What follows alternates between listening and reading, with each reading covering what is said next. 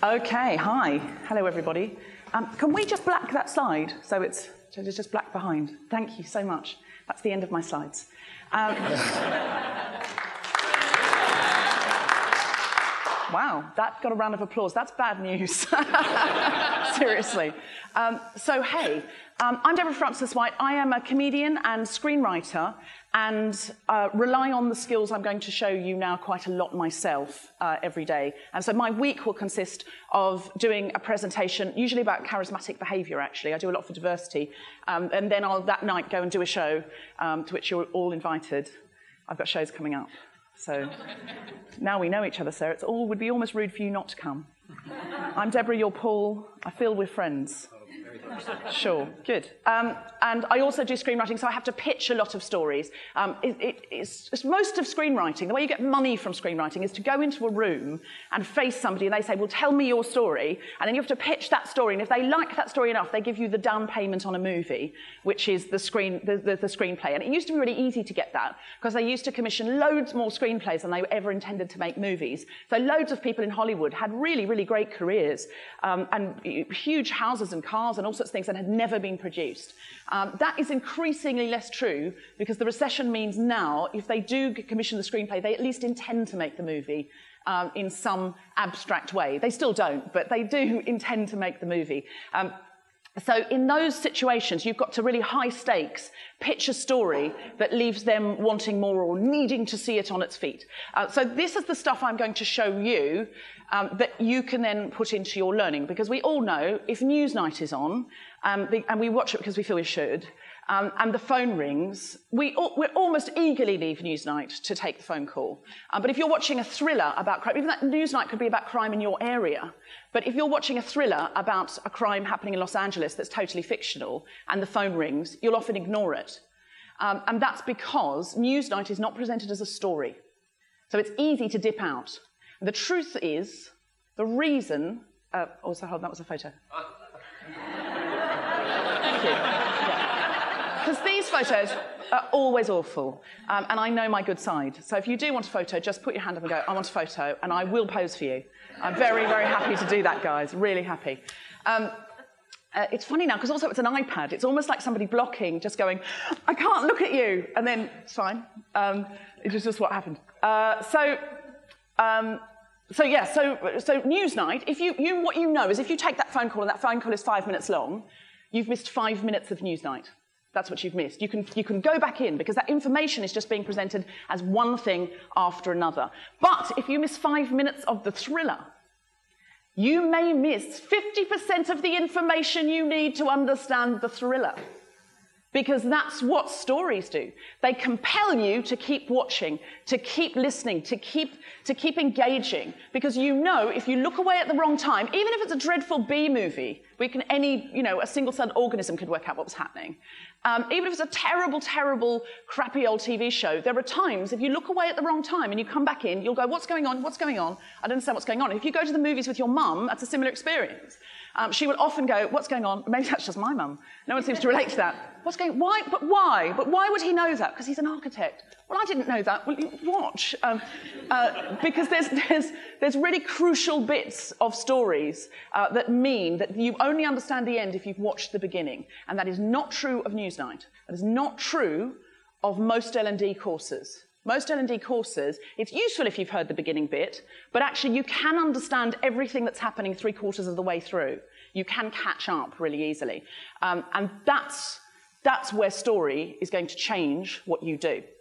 Um, so I would like a volunteer to come out uh, and stand up here and do something. Okay? Okay, so we've got one lady at the back, we've got one man down the front. Uh, lady, at, lady at the back was quite quick, man at the front looked at me, because he didn't see the lady at the back, and the man up the front went, No one's going to help her. so he looked at me with this face like, I'll do it. I'll throw myself. I like you. We feel, I feel we bonded. I can't, I can't watch this silence. I can't live in it. I'll do it. Okay? So we had one eager lady and one, one, one man who felt sorry for me. Um, and that's, that's more volunteers than you'd actually normally get um, in a room this size. Um, off, you know, it's not absolutely uncommon to get one. What's your name, um, madam? Lorraine. It's not uncommon to have one Lorraine in a room this size. It's possible. Um, less likely we'll get one of the Leonards. Leonard. Leonard is special.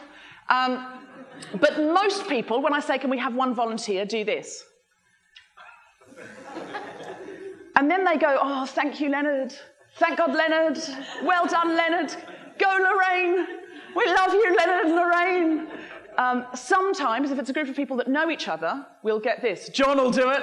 Yeah, John! John! John! And they, like they're throwing John to the wolves. They're just like, go do it. They've almost become tribal uh, in a way of there is a, there is a wolf that needs feeding. John, John, John, John.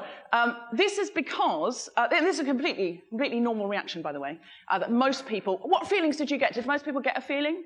Did most people get a feeling when I said volunteer? You in the front must have felt particularly terrified. Yeah. And also, you accidentally made direct eye contact with me and then went, what have I done? I've looked at the beast. It's over. Um, you basically went, uh, uh, oh no, and then was must be thrilled about Leonard and Lorraine because I didn't mention Lorraine. I saw Lorraine, but she didn't say anything, so I didn't mention her because I wanted to see what else would happen in the room. So you must have been thrilled about Lorraine. You were thrilled because uh, most people get something between mild butterflies and an absolute terror. Most people have sat up the back with reason. There's a reason why the front row is almost entirely empty, except two people at either end, one person I work with, and the other lady, there's no reason for that. Why have you sat in the front? Don't know. Mistake. Error. rookie, rookie, I haven't been to one of these before. I see. Um, but this bit, this bit, this is like a shield between you and me, isn't it? This is what we do when we come to events like this. Um, we, we, we sit back. And what we really want to do um, is sit back and watch somebody else do it, ideally Leonard, um, and assess from our seats whether we'd be any good at it. If we think we would be good at it, then and only then do we want to go. That is, how, that is how we are as human beings. Now, any group of people I get in here, it will be exactly the same. I sometimes teach at RADA, the Royal Academy of Dramatic Art, where all the fabulous actors go. Now, you would think they would be dying to have a go because well, they've signed up for three years of acting. So if I asked them to have a go at acting, you'd think they'd be throwing, pushing each other out of the way for a go at acting. No, they're worse. They're like, oh no, this is just every opportunity to have a go is an opportunity to prove that they got in by mistake and in fact, a talentless individual who will now be discovered uh, and, and, thrown out of the academy. Um, there's only one group of people I can get in here, whereas if I say, could I have a volunteer, almost everyone wants to volunteer. Do you know who those people are? Children.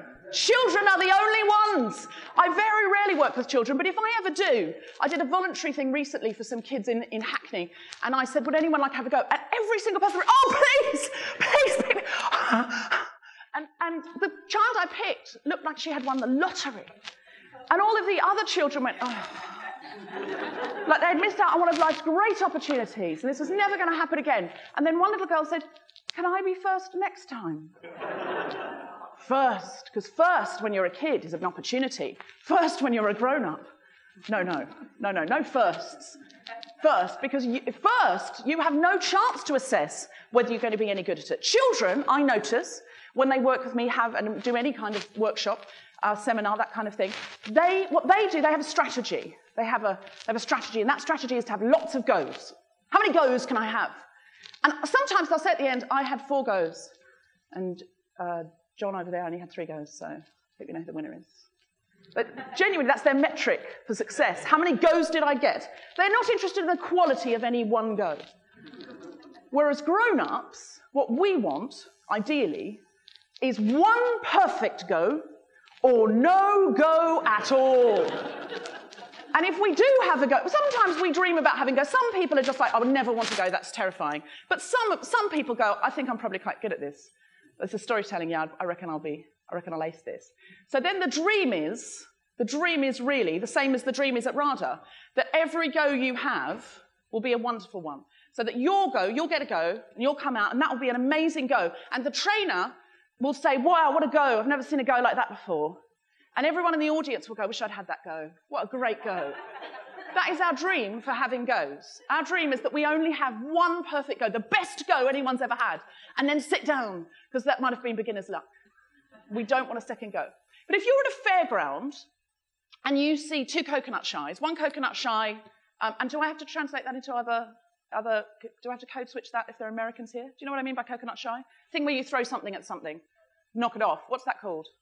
a dime toss. Boom. Um, so multicultural. Um, if you see one coconut shy dime toss that's three goes for a pound or dollar, it's good, isn't it? I think you'll find it'll be quality stuff like that throughout. Um, and, and the other, and the other, and I'm so sorry if I've excluded you because you're from another country, but I just, I don't have the time. Um, uh, and the other one is one go for a pound. We will all go three goes for a pound because we're not idiots. We're not going to be taken in by that one go for a pound, partly because we know that in a coconut shy, the first two times we're really gathering data. We're gathering information about how this works. Mostly, you know, if you've done a coconut shy, mostly the first time you're way off because you've really poorly assessed how heavy the ball is and how far away the thing is. The second time you get a bit closer, if you're going to get it off, mostly it's going to be on the third time because you've got the right data, you've started to feel how this works. Uh, it could be intuitive data or, or conscious data, whatever it is. You've got that feeling, and you're most likely to get it off on the third time. And often people go, I'll just have another go because I nearly got it off then. And what we know is our third three throws and our, our, our, second three throws and our third three throws, we, are getting better all the time usually. Um, because we're getting, we, we, we're practicing it. But in a seminar or workshop, if we have an opportunity for one go or three goes, well, obviously we'll go for one go. Because three goes seems like opportunities to demonstrate we're not good at this. We're not data gatherers as grown-ups. Children know lots of goes means getting better at something. We are not good at this. We are not good at this. And I think it becomes from our formal education. I fear that our earliest learning and development is to blame. School is to blame. Because I think children who come and go, oh yeah, I'll have a go at that, learn at school not to take those risks due to things that happen when they're there. Um, when you're at school, say the teacher says, write an essay about what you did on the holidays, and everyone else is writing, and you're just thinking. You're thinking, how am I going to open this? Will I open it with the sandy beach? Uh, will I open it? Will I open it with leaving, leaving the house uh, for the holiday? And you're just sitting there, relaxed and happy, looking out the window, thinking about how you're going to start. What's going to happen? Is the teacher's going to shout at you? And she say, she'll say, you, you're not even trying. And she would know, because she, she knows what trying looks like. If you're trying, you look worried, anxious, a little ill, not up to the job. If you're hunched over your paper, you're not writing, but crucially, you are trying. And then the teacher will come around and help you. She may even do it for you if you look like you're trying. We do not like relaxed looking children.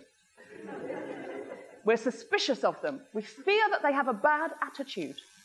Any relaxed child who goes, Yeah, I'll have a go at that. Yeah. I reckon I'd, I'd be in with a shot jumping over that high jump. Come on.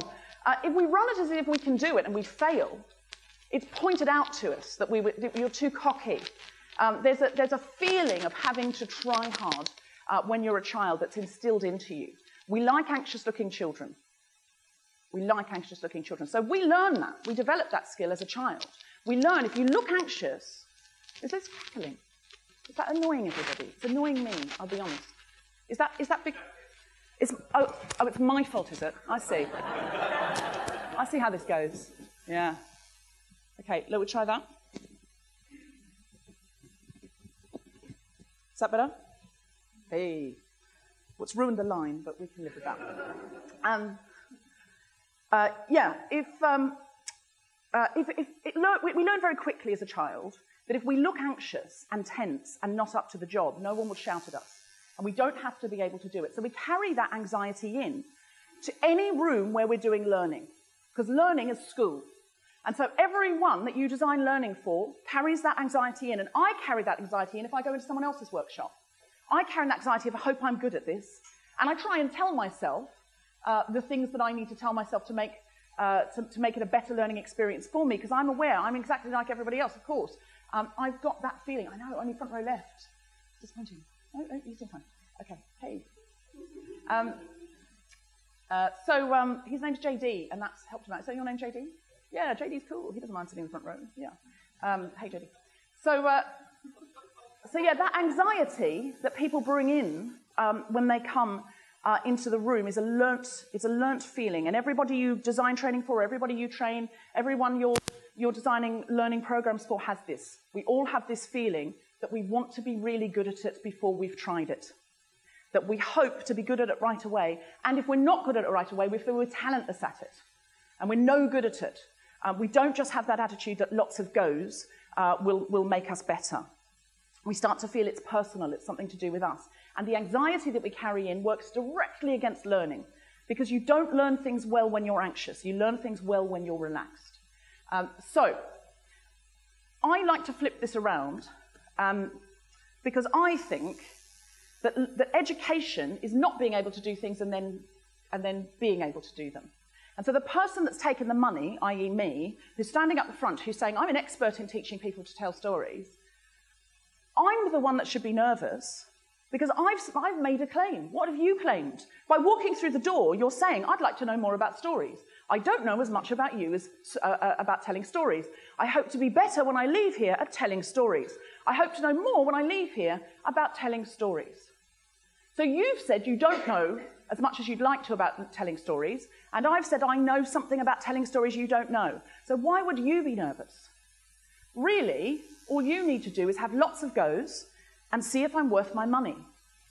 Because if when you leave here you know no more about storytelling or you're no better at it, how can that be your fault? That must be my fault.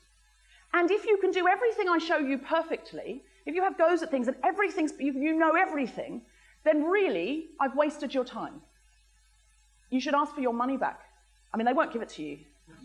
but, but I'd give it a try because, to be honest, well, I went into that storytelling. It was all really obvious stuff. I don't understand. I learned nothing. I learned nothing. Um, and maybe there's one genius storyteller in here that knows everything, and you know I have nothing to tell them. But if I can't show the group something, if this group isn't quite good at failing at the beginning, ideally, ideally there'll be a lot of failure at the beginning of this and then less towards the end. That's ideal for me. It's embarrassing if there's too much success at the beginning. So, what I would like is for you to have lots of goes and see if I'm worth my money. Um, and with that in mind, could I have one volunteer to come up here? One volunteer. okay, lovely. What's your name? Leslie. Big round of applause for Leslie. Um, I'm looking you straight in the face, you see. Yeah. Now, what was everyone else thinking when I said, Can I have one volunteer? Why did other people not volunteer? It's so interesting, isn't it? Because this is an event about learning, and you're learning professionals. And you will tell people all the time, Well, you can't learn things just by hearing about them, you've got to experience them. You, you tell people that. And yet, when it comes to having experience, there is still something that holds us back. And I want you to think about that when you think about your learners. That if we, as learners, as, as learning professionals, who know this to be true, and then are in an environment where the, where the trainer is hoping for a lot of failure, don't want to volunteer, how likely is it that your learners want to volunteer to do anything you want them to do? So it's an interesting piece of information. I'm not saying I have a full solution for you, um, except this. I get, my, I get my groups when I'm teaching improvisation, not when I'm doing corporates usually, but when I'm doing improvisation, I get them to shout out, we suck and we love to fail. Just a bit of counterintuitive stuff for the brain. Okay, so let's have a go at that. On the count of three, one, two, three. We suck and we love to fail. Oh, there's a lot of high achievers here. You could feel the tightness. We suck, we love to fail. well, I, will fail if I don't say it, so I'm going to say it. Um, say it as if you mean it. Like there's nothing at stake here. It doesn't matter. It doesn't matter what happens here. There's nothing at stake. It's so the stakes are so low. No one's going to die. No one's going to jump you. Nothing. So say it again as if you mean it. As if you can really throw it away. Go. That's nice. Okay, so Leslie, when you're doing this, if you ever feel that, that you want to say, we suck and we love to fail, if anyone's doing anything, just say, I suck and I love to fail. It does take the pressure off a lot. As I said, I don't tend to do that when I go into corporations, but I do it a lot when people come. I don't. I don't. They don't they don't want that message. Uh, but I do it at RADA every time I work there because they just, you know, they have the tightness. Um, and it's an acceptable message there. Uh, but I tell them not to it in other people's classes because other teachers don't like that. They don't. Um, so. Now I'm standing here thinking. No.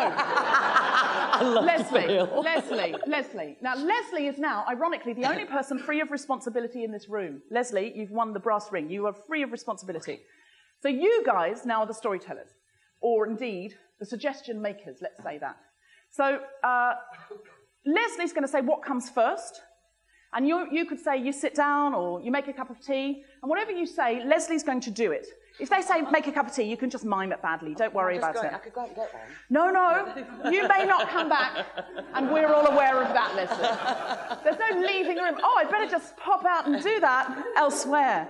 No, Leslie. No, Leslie. I'm not a fool. The doors are locked. Okay. Um, so, Leslie, you are going to then mime making the cup of tea, and you could do it badly. You could just go, "Ooh, cup of tea," you know, like you know. So you're going to say what comes first. They're going to make a suggestion. Then what comes next, and they can say anything they like. And different people are going to shout out. Okay. So Leslie, ask them what comes first. Just say what comes first. What comes first? Sorry, what was that? The kettle comes first. So could you say what, how it comes? Goes, it boils or? Fill up the kettle with water. Brilliant. That's an instruction she could follow. Great. So could you just pretend you're filling up a kettle with water? I can do better than that. Okay. All right. But then here's the problem. If No, I'm pretending.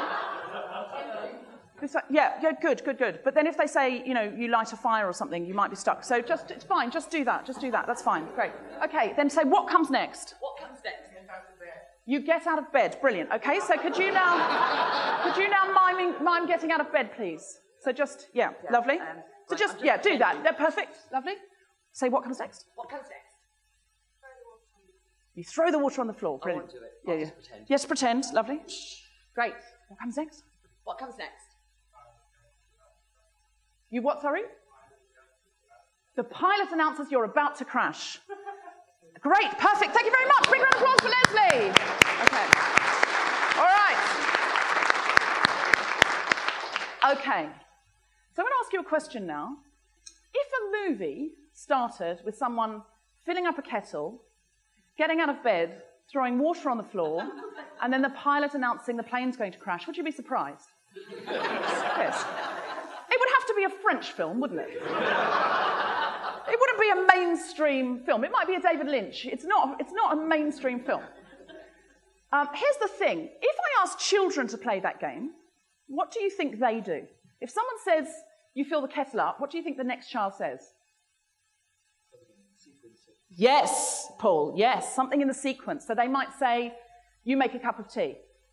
Uh, you fill the kettle up, you plug it in. You fill the kettle up, uh, you make a cup of tea, uh, you sit down and put your favorite TV show on. That's what kids do. Why do you think kids do that and grown ups don't? Because this is very typical. This is what happens every time, and it doesn't matter if I'm working with um, professional, uh, you know, people who make documentaries or uh, drama students or whoever it is. All grown ups do it. Why do you think grown ups do that and kids do make a sequence? Grown ups, I think, the reason I think, is that grown ups have a vested interest in originality. If I am influenced by your suggestion, I feel dull. I feel like, well, yeah, okay, you put the kettle on, but that, you know, if I say you make a cup of tea, really I'm just following on from what you've said. I want to come up with something original, something that other people will go, wow, what a great suggestion, what a great go, wish I'd had that go. Terrific go, brilliant go. Oh, I wouldn't have thought of that. What children do is they, is they want to say something that other people would have thought of. And that's very wise as a storyteller. Because most of the time, when you're watching a story, you can guess what's going to come next. When you're, when you're watching stories, you're very good at guessing what comes next. If the first scene is a boy from uptown and the second scene is a girl from downtown, what is the third scene?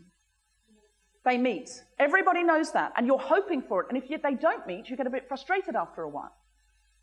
Just because it's obvious doesn't mean it shouldn't happen. Okay? That's the first thing you need to know. First thing you need to know. What you'll want to do is try really hard to come up with a good idea that nobody else could have thought of.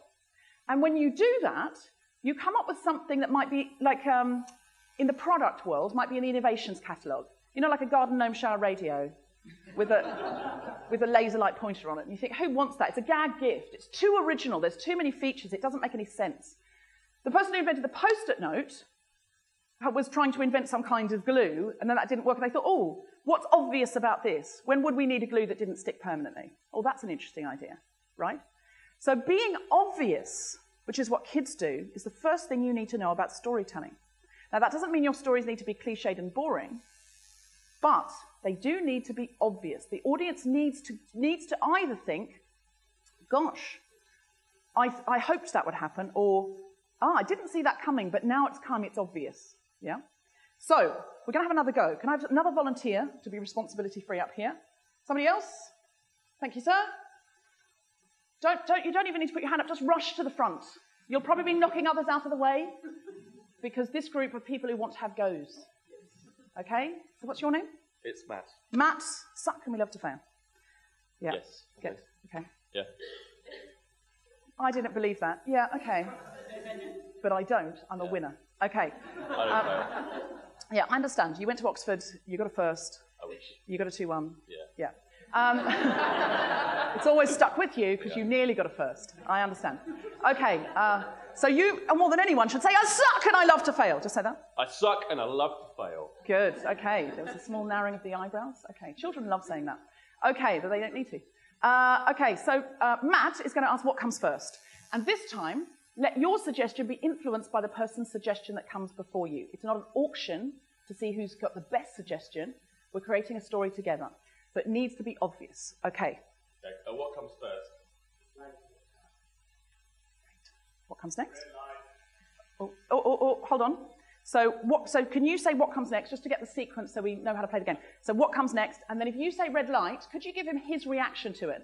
So you, you slow down because there's a red light, or you speed up because there's a red light, because we can't see the red light, we can only see Matt. Okay, so what comes next? Uh, what comes next? Red light and you slow down.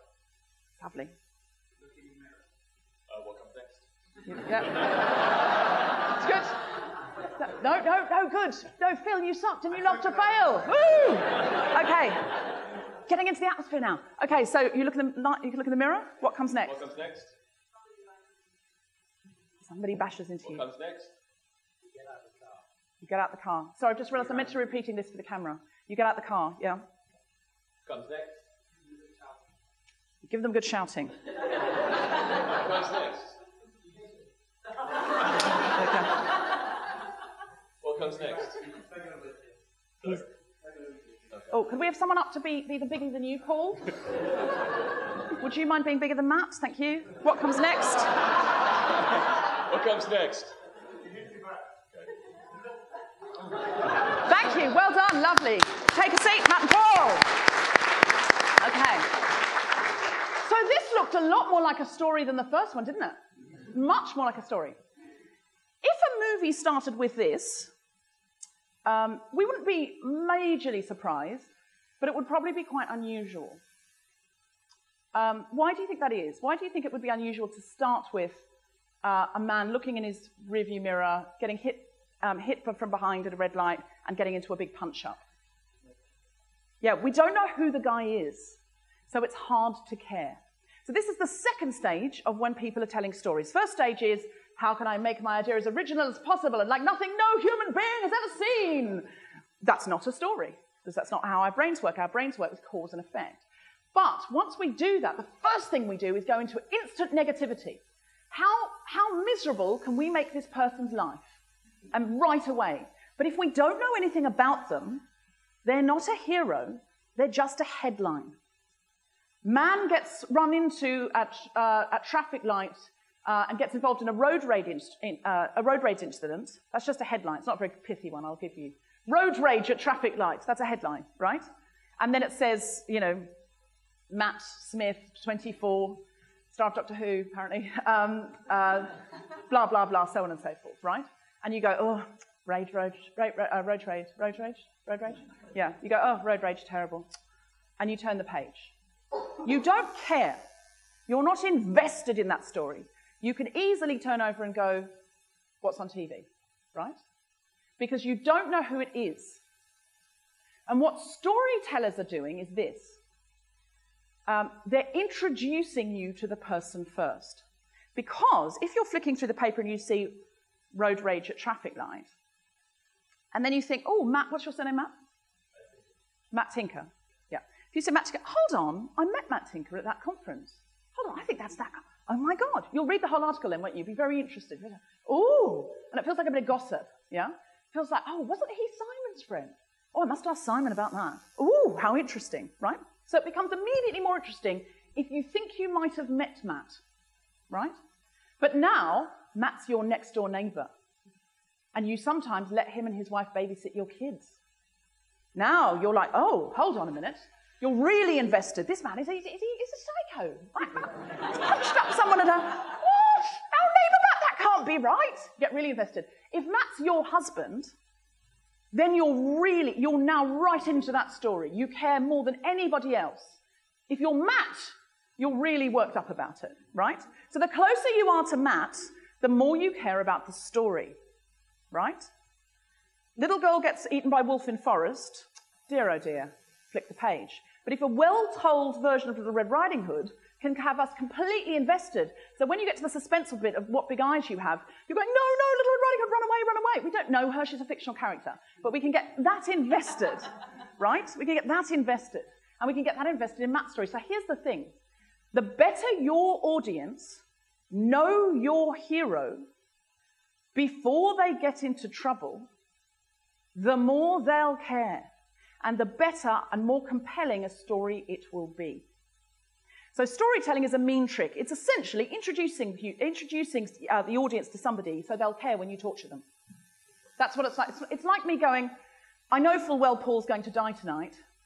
I think that, what's your name? Emma. I think Emma might like him and get on with him. Um, and I know Emma's dating at the moment. I'm going to introduce her to Paul so they'll have a really nice time. They'll really hit it off because later he's going to die. That's what storytelling is. So that Emma's really upset when he dies. She didn't know him. She had no, she wasn't invested at all. Wouldn't have mattered to her if he died. Except, you know, she'd heard about, she, oh, oh. But suddenly she's met him, she's had a wonderful date with him, and now he's died. What a terrible thing to do to people, to introduce them intimately to a character so you torture them and they care. That is all storytelling is, guys. That is it, in a nutshell. There are no stories about things that you would want to have happen to you. There are things in stories you'd want to have happen to you, but there are no stories that are entirely about things that you would want to have happen to you. The hero always suffers. Yeah, you don't have a story about a little girl who gets up in the morning, her mother sends her over to the grandma- grandmother's place with cakes. She goes across the forest, she picks flowers, she has a lovely time. Granny's having a lovely day. Uh, she's feeling a bit better, so that's good. Has the cakes together, have a chat goes back through the forest, has supper with her mother, goes to bed. What a lovely day. Not a story. Yeah? Not a story. So we know stories. Intuitively, we know stories about things we, we, we wouldn't want to have happen to us. But, but, if we have them happen immediately, the audience don't care. Your character is just a headline, not a hero. And that's what happened with Matt. Now, filmmakers have got incredibly economical with telling you what you need to know so that they can get on with the torture earlier. I don't know if you've noticed this. If you watch an old film, it's very slow to start. You know, the, an old film, 20 minutes will go by of just Joe having an ordinary life. Joe's a postman. And if you know, if, you, if, you, if you're going to have a movie about a postman or a mailman, you always see the first route, don't you? And the first route, even in a new movie, you'll see this. The first route is the dog that always barks at them, but they get away.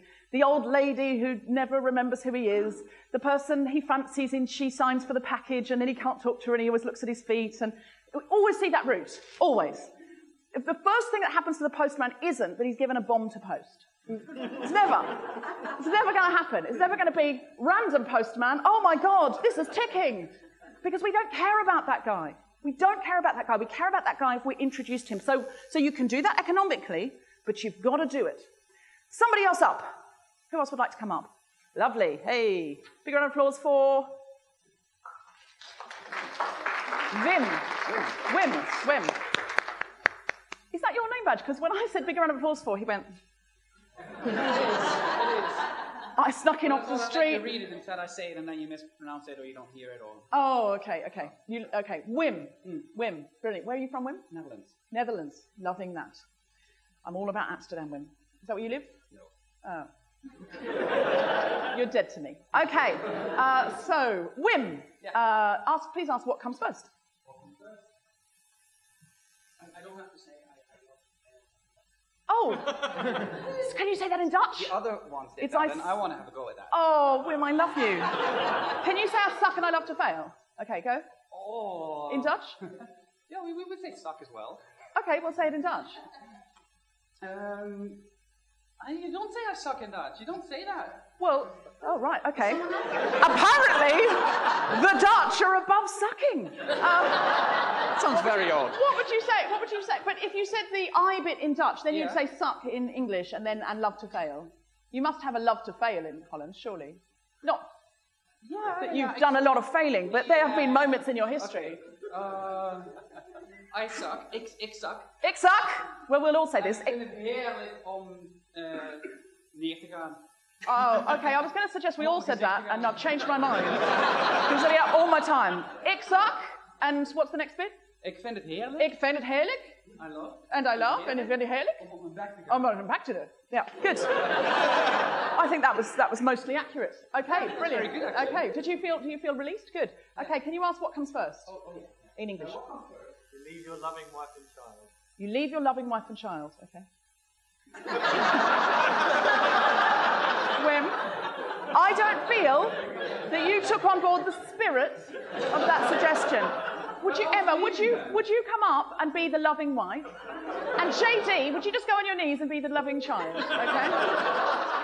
Okay, just so we get the feeling. We want to get the feeling. I don't want this to be unbelievable. Want to be plausible. Okay, say goodbye to your loving wife and child. No, no, like a kiss her or hug her or something. Yeah, lovely. Okay, great. Okay. JD's into it. Well done, JD. Okay. You guys can sit down. Can you sit in the front row because you might be needed again? We don't know. What come?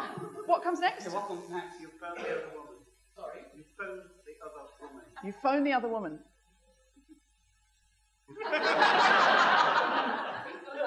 Okay. How would you know? Have you been the other end of that phone? What comes next? What comes next? A man answers. What comes next? It's a policeman. What comes next? He's the husband of the other woman. What comes next? Wim, no, really, next? Wim, you're the Sorry. puppet. No one said hang up. You're only a puppet, Wim. He's standing behind you. Oh, sir, and as you say that, could you stand behind him? so I love that suggestion. Love that suggestion. He's standing behind you. What comes next? He whispers, Do you think she knows about us? What? Who whispers that? Who whispers that? He whispers, Oh, do you think she knows about it? Brilliant. Okay. You, can you just say, do you think she knows about us? Whisper it into the phone. Do you think we, or, or come, cl- do, yep, go on. Just say it. Say it out loud.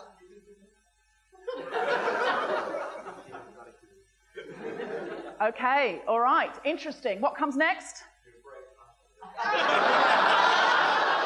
Okay, lovely. Well done. Thank you very much. Okay. All right. Now we're getting somewhere. Okay. So now this story looks a lot more like a story, right? Okay. So he leaves his loving wife and child. He rings the other woman. The man answers the phone. It's the husband. He's a policeman. Okay. Now, one, one sequence after another. These suggestions are, are obvious, yeah? So, bye to the loving wife and child. Um, so now we know something about this guy. Even just, the only thing we know is he's married with a kid. It makes sense if he rings a woman, another woman, that perhaps he's having an affair. So that first suggestion has given that second suggestion some weight. If he just a man rings a woman, we don't care. We see that on the, on the bus, on the tube, all the time. You know, we see people in the street ringing people. We're not invested. We're not, oh, oh, I wonder who they're calling. But if a man leaves his wife and child and then goes away somewhere secret and makes a phone call, and we know that he's got a wife and child, we're interested in who that phone call is to. Now, that, at that point, it could be he's ringing the party planner to surprise his wife for her birthday. It could be um, he rings around uh, various uh, companies trying to get a job because he hasn't told his wife he's lost his job. That's why he's left the house. He gets on the plane to go on the business trip um, and looks at pictures of his wife and child as the plane takes off. All of these things are promising different stories, right? Um, but the one we go for is he rings another woman. He rings the other woman, and, uh, and a man answers. It's the husband. Okay? So again, that's inspired by if you're ringing another woman, there's jeopardy there. There's promised jeopardy. There's trouble afoot. He's having an affair. So people want to see that outed. Okay? Very early on, we've got a very quick instinct for trouble, right? So it's not quite as troublesome as somebody beating you to death at a traffic light. but but we don't let it we don't let it rest very long, do we? It's like um, he leaves his wife and child. There's another woman, and the man knows, and then we go right into the trouble. But we are pulling back now. We are learning as a group to tell stories. Definitely, you guys are learning very quickly to tell stories because you're pulling back from the worst possible trouble. You're kind of promising trouble, which is great. It's a great instinct. Um, and then uh, you go into uh, the man standing right behind you. So he's on the phone to you and he's standing right behind you. Who said that? Who suggested was that? Great. Oh, that's right. Of course it was because you came out. Uh, Dean? Dean, yeah. Um, so Dean says he's standing right behind you. That gets a big laugh. Big laugh. Do you know why it gets a big laugh? Um, it was surprising. Did anybody else think he's standing right behind you? Did anybody else think that? I didn't. But when I heard it, it made sense because it brought the danger of the policeman, uh, the, police, the policeman husband. Police, what does policeman do to the husband? Raises the stakes, makes it more important. If the husband is sick in bed and uh, m- mostly incapacitated, the trouble for our hero goes down a little bit. If he's a policeman and we imagine he's got lots of powerful friends, he's a physically powerful man, he might have access to a gun, because we're in England, if you're from America. He might know someone who's got a gun because he's a policeman, but he'll probably have to beat you to death with a truncheon. Um, uh, uh, so, so all of these, but all of these things, he suddenly becomes more of a threat. We know intuitively, raise the stakes, make him a more threatening character. And then he's right behind you, brings the danger forward. Because the person that says that goes, well, he's far away. This guy, he's on the phone. This guy can run, right? But if he's right behind you, that's way scarier. And it becomes more like a thriller. He's right behind you. Now, we don't, none of us thought it, but when we heard it, it was obvious to us, right? It wasn't alien's land. It wasn't outside the expectation of the circle. Everything we'd set up before that made sense of that. So here's the thing when I said at the beginning, be obvious, that doesn't mean be cliched. The truth of the matter is, most of the time when you're obvious, when your next suggestion is obvious to you, it's obvious to everyone else. Most of the time they're thinking, oh, I hope that would happen. I hope the boy from uptown would meet the girl from downtown. He's just run a bath. I hoped he'd get into it. I didn't hope he'd run a bath and then jump out the window. I didn't hope that, right? Most of the time, your obvious will be obvious to everyone else. But occasionally, if you stick with your obvious, what's obvious to you, occasionally your obvious won't be obvious to anyone else until they've heard it. And that's when your obvious is your talent. That's the only way you find your voice. You don't find your talent as a storyteller, your voice, by trying hard to think up good things. That's the Garden Gnome Clock Radio. Yeah, you only come up with a post-it noting storytelling when you're obvious. So then he's right behind you, and then somebody else says, Who says? He says, Do you think she knows about us? Okay, so that's your obvious. Hold on, why are they together in close proximity? Maybe they're having an affair. So maybe he started having an affair with this woman, and he ended up having an affair with the husband. And now that's the beginning of a very interesting thriller. So it's some kind of story, some kind of either emotional thriller or actual thriller, it's some kind of very interesting story. Or it could be, if you change the tone, a very broad comedy of a man who's sleeping with his wife, his lover, and her husband, and keeps going around in this triangle. Um, and I'm no doubt there'll be other twists and turns. So this is actually quite sophisticated storytelling. When you think we started with, you fill up a kettle, you get out of bed, you throw, kettle, you throw the kettle water on the floor, and then the captain makes an announcement. I think that's where we started.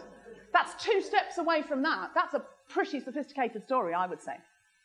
But here's the thing because we want something to happen so desperately, we're very happy with the generic detail about this man. This man has a wife and a child. And then lots of stuff to him. But the question you need to ask yourself is what makes your hero different from all the other heroes out there? What makes your man with wife and child different from all the other men with wife and children? What makes your postman different from all the other postmen? What makes your nun different from all the other nuns?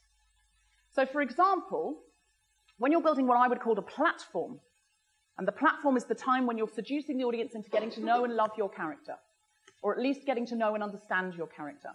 Uh, and when you're telling very sophisticated stories, like something like Breaking Bad, at that point you deal with anti-heroes and all sorts of things like that. But we're just learning to tell very simple stories. So if some of you are thinking, ah, but my favorite story is Pulp Fiction and it doesn't work like that at all, uh, please know that Quentin Tarantino is an expert at telling simple stories, and that's why he can tell very sophisticated ones. So this, this is about the simplest story. This isn't about the most sophisticated story. Once you understand the simple rules of storytelling and you can mess around with them, you can shuffle the pack, uh, then you can start playing with other things. But at the beginning, all you want to do is introduce the audience to someone, get them to know them and be invested in them, maybe like them, and then, then just hold that off before the bad stuff starts to, ha- starts to happen. Um, but you can, within that, make promises. So, for example, if a nun is getting ready in the morning and she puts on her habit, she gets her rosary beads, she picks up her Bible, she kneels down, she says a prayer, this nun is still generic nun. You've given us a lot of different bits, which is useful, but they, they're all generic nun bits, right? If you have a nun, she gets her rosary bead, she puts on a habit, she picks up a Bible, she says a prayer, she checks her gun, she leaves her cell, she goes down. Ah, now this nun is different from every other nun. And you've made a promise about so something about this nun. This nun is in danger. This nun is undercover. Uh, this nun is uh, somebody who likes to go shooting to relax. There's a shooting range in the convent. This, this is a very progressive convent. There's, there's something about this nun that's different from every other nun. Now, we're interested in this nun, right? We're more interested in this nun than any other nun, right?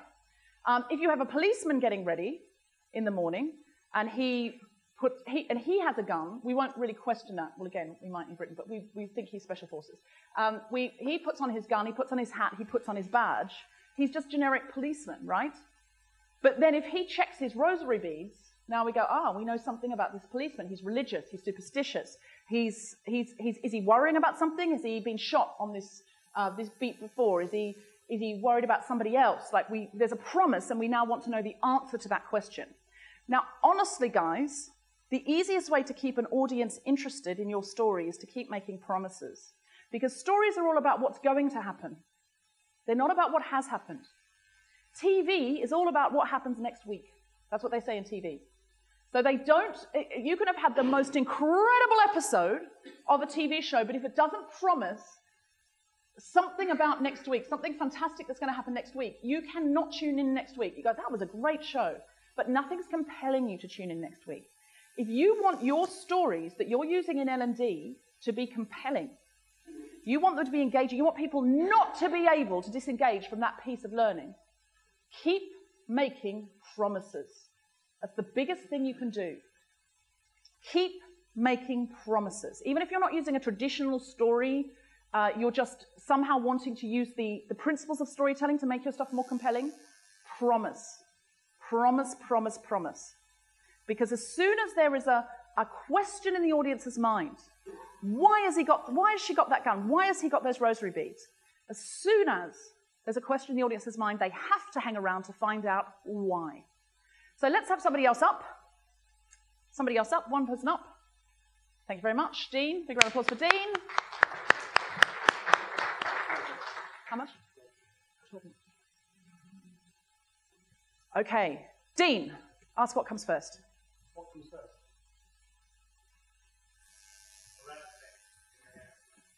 There's a, there's a rattlesnake in your hands. Yep.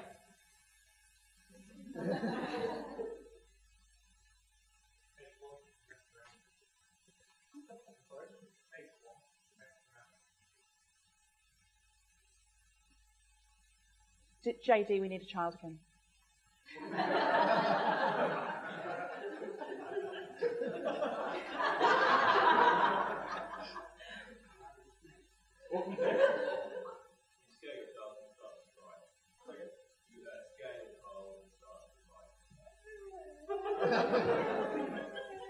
The vicar stopped reading the.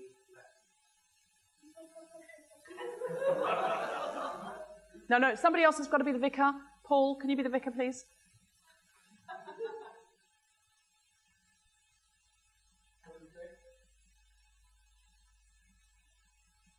The congregation begins to. Mutter, mutter, mutter. Good. Good muttering.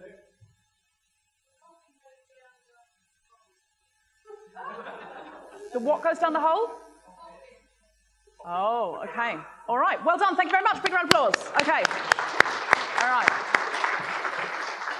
So what we've got here is a man playing, and what we're playing here is a reveal game. He's playing with a rattlesnake. It's not a real rattlesnake. Pull back to reveal. It's a toy. Uh, he's playing with his child. Pull back to reveal. He's in a church, and he's messing about while the service is going on. Pull back to reveal. The priest sees them and stops reading. Pull back to reveal. It's a funeral. So this is like a sketch. This is very sophisticated storytelling. And if you put this in like a smack the pony sketch almost, like a pull, pull back, pull back, pull back, pull back. Um, uh, smack the pony being a British sketch show that sometimes does, I think, uses that technique. Um, oh, now we've realized we're here and this is inappropriate. Um, so you guys have just, on the fourth time, stumbled into like a sketch comedy trope. I don't know why. I can guarantee you, if you could, you could follow me around and we could play this with 20 groups today. Everyone starts with those ones where it's, you're throwing water on the floor and suddenly you're on a plane, like disconnected ones, because that's what grown-ups do. We want our suggestion to be original, and we want ours to be different from everyone else's. Then I can guarantee you that everyone else is going to have one of those car crash stories where someone gets beaten to death before we know who they are. And then I can guarantee you uh, that we're going to have a story where we get to know the hero, but only a tiny bit uh, before we start to torture them, but we at least hold back on what the torture looks like. I cannot guarantee that any other group in the world is then going to come up with a classic sketch comedy trope about pullback and reveal. That's never happened before. Um, but uh, but you guys are smart, so you know you've you've you've just you've jumped out about 12 steps there and just fallen into something else. Um, but what I can see what you're trying to do here. What you're trying to do is to say, hey, uh, this guy is the kind of guy. What do we know about our hero? Let's we just look at it that way. What he's the kind of guy who. Yeah, he plays with his kids. He's a joker. He's a, he might in the movie in the movie who would play him? Someone playing who would who would be playing this guy? Jim Carrey, yeah. Somebody playing with his kid naughtily. So it's not the kid playing, it's him scaring the kid in church. Because normally we'd think it'd be the kid scaring the, the dad, right? And the dad would be saying, Put that down, you're at a funeral. But instead it's the other way round, right? So we know something about this guy. He's a joker. He doesn't really have respect for the things that normal grown ups have respect for, right? Um, he, he is the kind of guy who uh, will stop a funeral with his antics. What questions are now in the mind of the audience? What do we want to know? What promises have you made? What questions have we got? Whose funeral? Yes, sir. Very good. Uh, whose funeral? Because that matters. Um, shout out names of people's funeral it could be. His wife's funeral. Yeah. If it's his wife's funeral, this makes him a different sort of guy. Now, maybe, maybe we're going to give this guy the benefit of the doubt and say he's somebody like in uh, the Beautiful, Beautiful Life. Was a Beautiful Life, where the man in, takes his son into the concentration camp. Life is beautiful. He takes his son into the concentration camp and he hides him, and he makes it all out to be a game so that the son doesn't get scared. So maybe he's the kind of guy who's trying to make this fun for his child and shield his child. And maybe the lesson he's going to learn over the course of the story is you can't shield your child from death. His mother's he, he has to let the child grieve. Yeah. Um, or maybe uh, he hated his wife. Maybe the wife left them when the baby was just a week old, and they've come to this funeral almost to sabotage it. But then what he learns at the funeral is why the wife left. She was dying and she couldn't bear to put them through that. So she thought, I'd rather have them hate me and just think I've left. She wanted to keep the death a secret than then watch me die slowly. And then he falls in love with her again at the graveside. It's a beautiful story you guys are telling here. beautiful. beautiful. You've got beautiful minds, hearts, souls. I love you. Um, so this story could go all sorts of ways here because you've put in enough interesting promises, right? Now there's lots of different ways this could go because you've told us something about this guy that makes him different from a normal man at a funeral. And you've done it just by making one suggestion after the other. Now, the person who said you've got a rattlesnake, I would imagine, didn't guess that this was at a funeral. That, would that be correct, sir? You didn't know that was going to be the funeral. Did you think he was someone more like Steve Irwin, the Australian guy who handled, handled snakes until he died of that. Shock value. You were just going for shock value, sir, and I love that you've admitted that. no, I'm the kind of guy that just likes to open with something shocking. You, like, a, like a reality TV scene, like an I'm a celebrity type thing. Put your shocking thing up the front. Um, and a lot of movies do that now. James Bond's always done that. James Bond's always been about the opening has been not about hey, James Bond, what are you doing today? It's always been him jumping out of a plane, you know, landing on skis. And that's because it's saying, this is the tone of this movie. This is the kind of guy this is. But we know the movie doesn't really start till after the title sequence. We've had the big shebang, then the title sequence, and then he goes into M's office and M says, James Bond, you've been naughty again. Well, anyway, we're going to give you another mission. Here you go. Even though we, we don't want you to mess it up this time and sleep with a lot of beautiful women and shoot people you shouldn't shoot, but off you go. Bye bye now, James Bond. And that's where it starts when he gets his mission. It doesn't really start with him jumping out of a plane. Um, so, when you go back to create a story to use in L&D or to shape your story like uh, your story like program. You want to make your, your, your program more compelling. These are the things you need to remember. If the audience are not invested in the beginning, if they don't know enough about the context at the beginning, if they're not invested in the hero in the beginning, they don't care. They can always pull out. They can always disengage because it's just a headline, it's just information. As soon as you give them enough stuff that they care, they will be engaged for the long haul. Hold off the bad stuff a little bit. Hold off the, the dramatic part of the story. Also, story is not just bad stuff. People tend to think drama is conflict. Have you heard that? Drama is conflict. You heard that saying? People think drama is conflict. They think it's all got to be about arguing and, and bad stuff and conflict. Um, but the truth of the matter is, in, in Cinderella, the, the, part of the story the kids like the most is when Cinderella uh, is sitting there in rags and the fairy godmother comes in and turns her rag dress into a beautiful ball gown. That is not conflict. That's not bad stuff. It's change. The truth is, drama is one person changed by another. And if you have that element, people are going to want to watch it. But then it's about what is promised, what next. If it's just, you, I'm going to give you beautiful ball gowns and we're going to hang out here all night. Have another beautiful ball gown, have another beautiful ball gown. Nobody cares. The kids will stop watching. Because the promise is she's going to go to the ball and no one's going to know who she is and she's going to get to dance with the prince. And then we think, oh my God, these two are going to get together. Oh no, the clock struck 12 because that was promised. She had to leave at 12 o'clock. And if she didn't, everything would turn back into rags. That's all been promised. If that came about randomly, she hadn't been told that. And then she's standing there chatting to him, and then suddenly she looks down and she's in rags. That's random. That's David Lynch. It's, it's a French film. We don't get it. We're like, why did that happen? I don't understand it. I have a friend, a friend called Jamie. He went to see Mulholland Drive. And he came home from the cinema and he went, the David Lynch film, you know, very obscure. And he came home and he went, I am, he's a very sophisticated guy, Jamie. He's an actor, very sophisticated love story, very love sophisticated stuff, foreign films.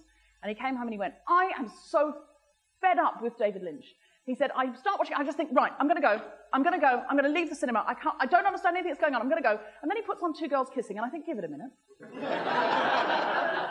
I wonder if that is not David, half of David Lynch's success, but he does have a lot of two girls kissing when things get really obscure. Just saying. Um, okay, so here's the thing. The final piece of this puzzle. Um, because you guys aren't just creating necessarily kind of fantasy stories. The final piece of this puzzle um, is who the hero of the story is. So yes, it can be just this guy. We will accept that. This, this guy, just this woman, just this girl, this, this boy. Sure. This dog. Sure. Um, but somebody recently uh, said that they had to tell a story of change in their organization. And the story of change went like this.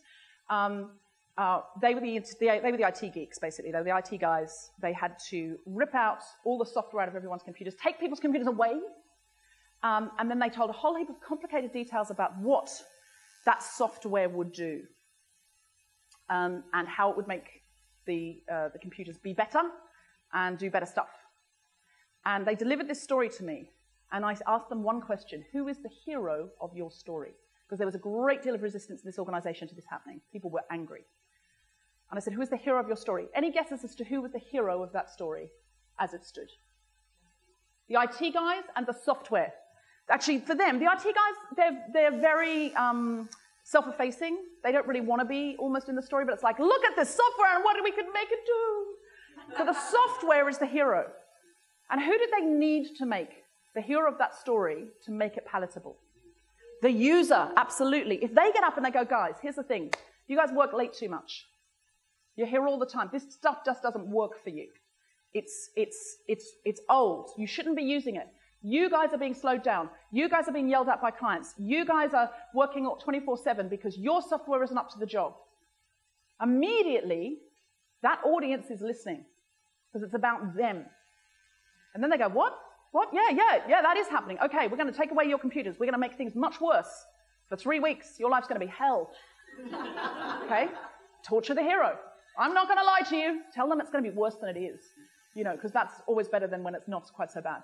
It's going to be terrible. But then when they come back, oh my God, your lives are going to be different. You're going to be out the door so much earlier. Your clients are going to be so much happier. All about you. Okay. This was great.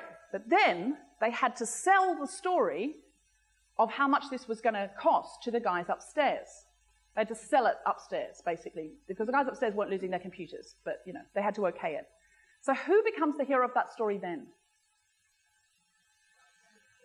Well, you'd think the guys upstairs, wouldn't you? But what do the guys upstairs care about? Because the guys upstairs aren't really in this story.